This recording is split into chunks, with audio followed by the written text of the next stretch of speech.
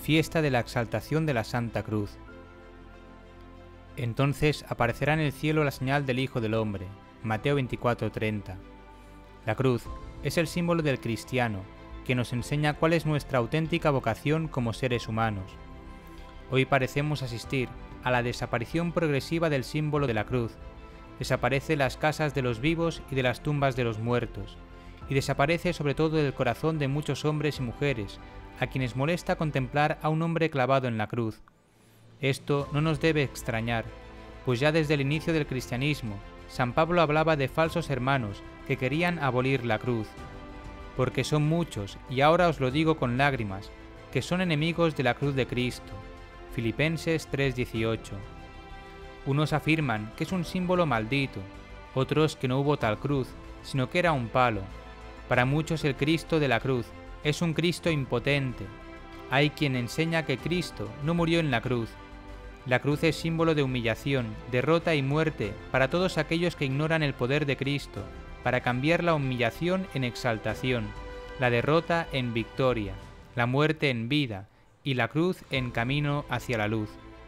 Jesús, sabiendo el rechazo que iba a producir la predicación de la cruz, comenzó a manifestar a sus discípulos que él debía ir a Jerusalén y sufrir mucho, ser matado y resucitar al tercer día. Pedro le tomó aparte y se puso a reprenderle, Lejos de ti, Señor, de ningún modo te sucederá eso. Pero él dijo a Pedro, Quítate de mi vista, Satanás, porque tus pensamientos no son de Dios, sino de los hombres. Mateo 16 del 21 al 23. Pedro ignoraba el poder de Cristo y no tenía fe en la resurrección, por eso quiso apartarlo del camino que lleva a la cruz, pero Cristo le enseña que el que se opone a la cruz se pone del lado de Satanás. Satanás el orgulloso y soberbio, odia la cruz porque Jesucristo, humilde y obediente, lo venció en ella, humillándose a sí mismo, obedeciendo hasta la muerte y muerte de cruz, y así transformó la cruz en victoria, por lo cual Dios le ensalzó y le dio un nombre que está sobre todo nombre, Filipenses 2 del 8 al 9. 1. ¿Por qué exaltar el instrumento de tortura y muerte de Jesús? Algunas personas, para confundirnos, nos preguntan, ¿adorarías tú el cuchillo con que mataron a tu padre? Por supuesto que no. Primero, porque mi padre no tiene poder para convertir un símbolo de derrota en símbolo de victoria, pero Cristo sí tiene poder. ¿O tú no crees en el poder de la sangre de Cristo? Si la tierra que pisó Jesús es tierra santa, la cruz bañada con la sangre de Cristo, con más razón, es Santa Cruz. Segundo, no fue la cruz la que mató a Jesús, sino nuestros pecados. Él ha sido herido por nuestras rebeldías y molido por nuestros pecados. El castigo que nos devuelve la paz cayó sobre él, y por sus llagas hemos sido curados. Isaías 53:5 ¿Cómo puede ser la cruz signo maldito si nos cura y nos devuelve la paz? Tercero, la historia de Jesús no termina en la muerte. Cuando recordamos la cruz de Cristo, nuestra fe y esperanza se centran en el resucitado. Por eso, para San Pablo la cruz era motivo de gloria, como lo dijo en Gálatas 6:14. 2. La cruz nos enseña quiénes somos.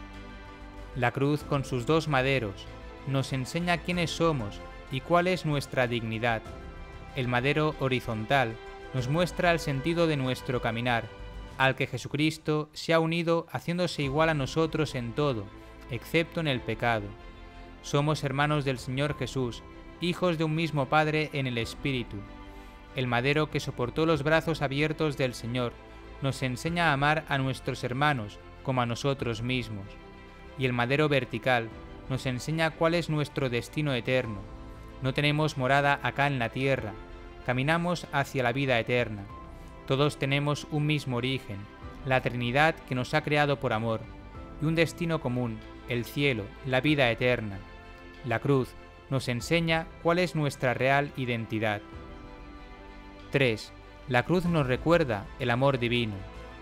Tanto amó Dios al mundo, que entregó a su Hijo único, para que todo el que crea en Él no perezca, sino que tenga vida eterna. Juan 3, 16. Pero ¿cómo lo entregó? ¿No fue acaso en la cruz?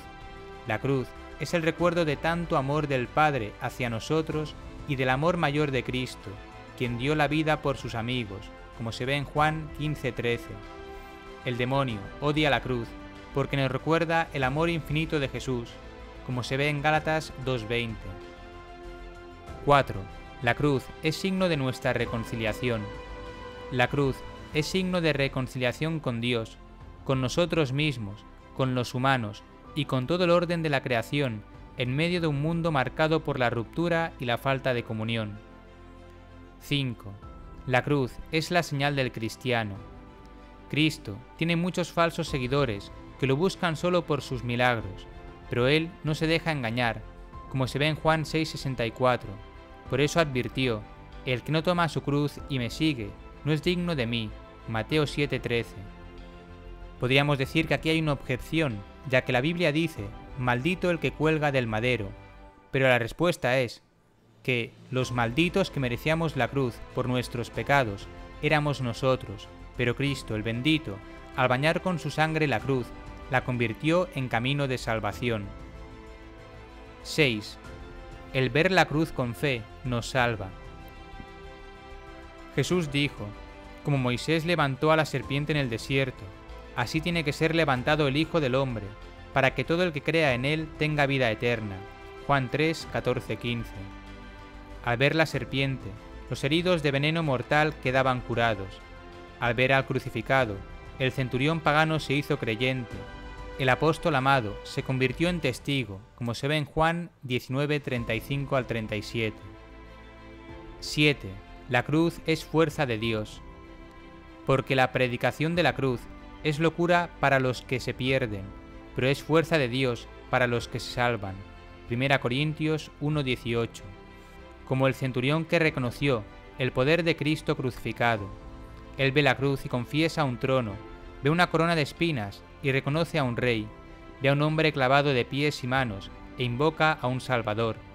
Por eso el Señor resucitado no borró de su cuerpo las llagas de la cruz, sino las mostró como señal de su victoria, como se ve en Juan 20 del 24 al 29. 8. La cruz es síntesis del Evangelio. San Pablo resumía el Evangelio como la predicación de la cruz, como se ve en 1 Corintios 1 del 17 al 18. Por eso, los papas y los grandes misioneros han predicado el Evangelio con el crucifijo en la mano. Así mientras los judíos piden milagros y los griegos buscan sabiduría, nosotros predicamos a un Cristo crucificado, escándalo para los judíos, porque para ellos era un símbolo maldito, necedad para los gentiles, porque para ellos era señal de fracaso, mas para los llamados, un Cristo fuerza de Dios y sabiduría de Dios. 1 Corintios 23-24. Hoy hay muchos católicos que, como los discípulos de Maús, se van de la iglesia porque creen que la cruz es derrota. A todos ellos Jesús les sale al encuentro y les dice, ¿no era necesario que el Cristo padeciera eso y entrara así en su gloria? como se ve en Lucas 24 del 25 al 26. La cruz es, pues, el camino a la gloria, el camino a la luz. El que rechaza la cruz no sigue a Cristo, como se ve en Mateo 16, 24. Nuestra razón, dijo San Juan Pablo II, nunca va a poder vaciar el misterio de amor que la cruz representa, pero la cruz sí nos puede dar la respuesta última que todos los seres humanos buscamos, no es la sabiduría de las palabras, sino la palabra de la sabiduría, lo que San Pablo pone como criterio de verdad y a la vez de salvación.